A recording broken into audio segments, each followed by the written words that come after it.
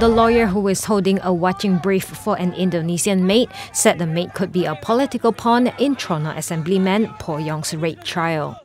Gabriel Susayan made the revelation in the Ipoh Sessions Court on Tuesday when Yong claimed trial to a charge of raping his 23-year-old maid.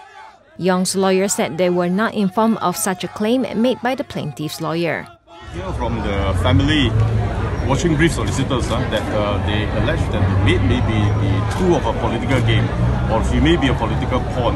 So I have yet to receive further information from the solicitors as to why they say that. Yeah, they may have been uh, privy to certain information uh, for them to make the allegation that the maid could be a pawn of political game or political pawn.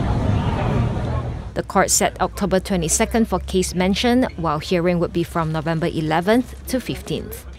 The offence allegedly took place at Yong's house in Merudesa Park on July 7th. A group of people showed their support for Yong outside the court and demanded Perak DAP chairman Nga Kor Ming to resign.